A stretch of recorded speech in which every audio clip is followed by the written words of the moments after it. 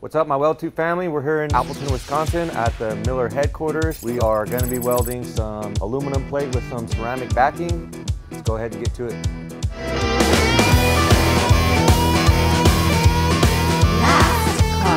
Warning read and follow all labels and the owner's manual.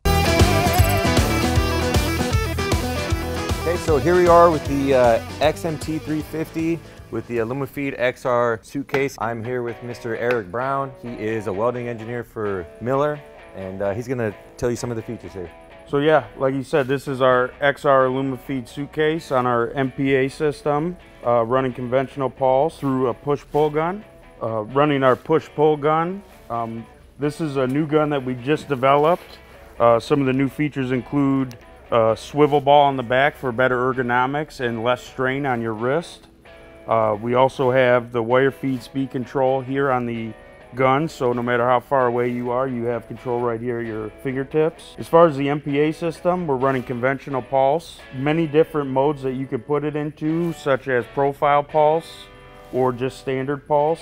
As in most traditional pulse uh, systems, we have our arc length here, and then down on the system, we can go in and change our sharp arc.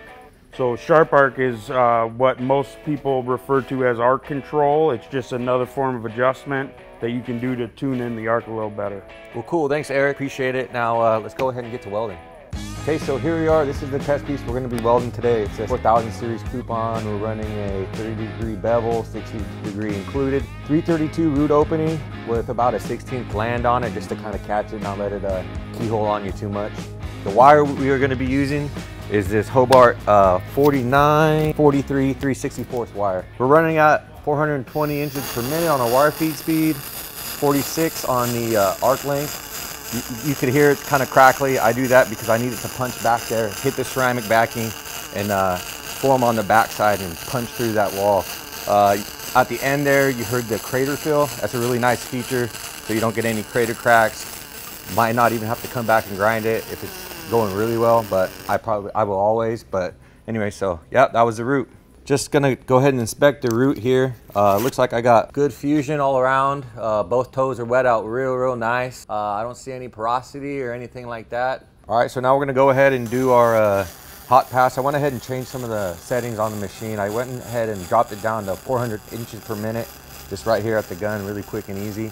Uh, bumped the frequency down to 3.0 um, and the sharp arc to 15 and the arc length to 47. So let's go ahead and see how that goes for us.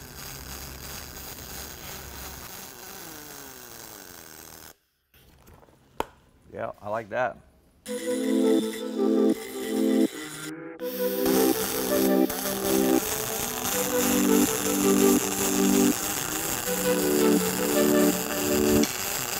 So yeah, like you said, this is our XR Alumafeed suitcase on our MPA system, uh, running conventional pulse.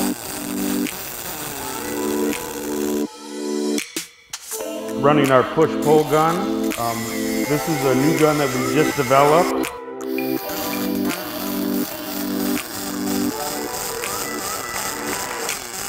So sharp arc is uh, what most people refer to as arc control. It's just another form of adjustment that you can do to tune in the arc a little better.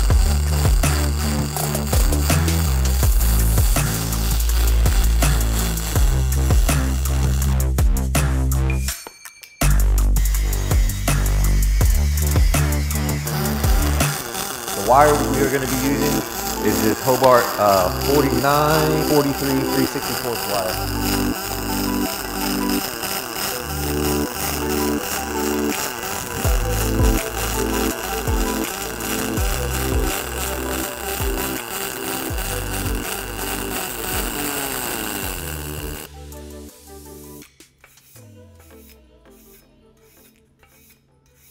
Okay, just went ahead and ran my first bead on the cap uh, went really good. Gonna go ahead and finish it out.